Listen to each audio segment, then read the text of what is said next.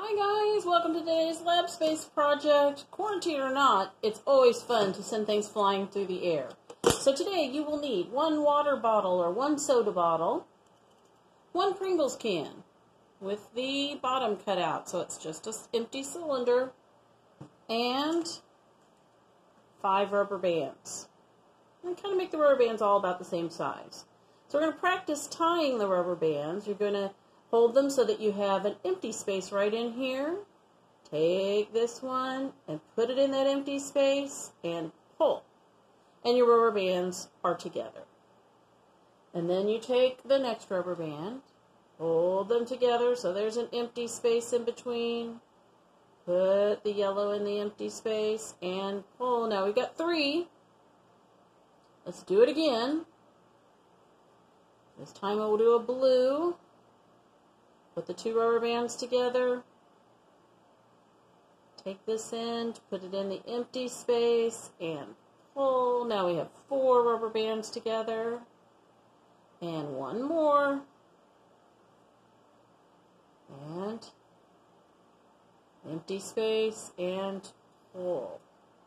So you might want to pause the video and get those done. Then the next step is to find the center of those rubber bands.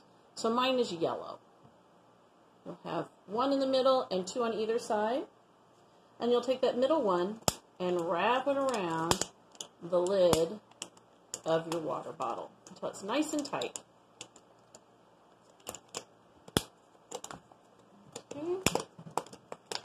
So this is another time when we're going to use elastic potential energy. When we stretch these rubber bands, we give them the potential to do work using elastic potential energy because they want to come back. That's what they want to do. Take the flat end of your water bottle or soda bottle and slide it into your Pringles can. And then take one end and wrap it around the end of your Pringles can. And take the other rubber band that's hanging down and wrap it around the end of your Pringles can. And now we'll just Oops, my rubber band broke. Let me try again.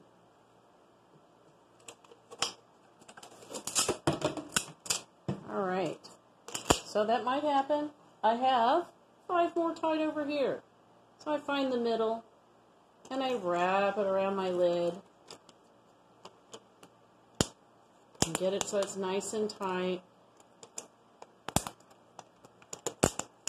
And then slide it into my Pringles can and take one of the rubber bands that's hanging down and wrap it around the side and take another, the other side that's hanging down and wrap it around this side. Now we want to make it tighter, so we're going to go over it that way. We're going to do that same thing with the first one that we put around. Wrap it around your Pringles can.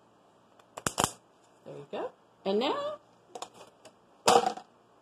Ah, so when we pull back on the water bottle, we give it elastic potential energy.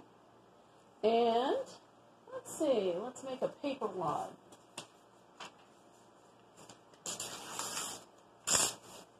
And put our paper wad into the end of the Pringles container and pull.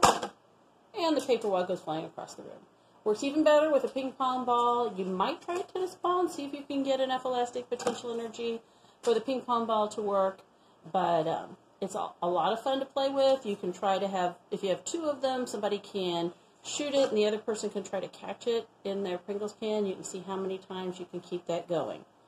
Hope you guys have fun. Slinky here says goodbye and have a good time playing with your launchers. Talk to you soon. Bye.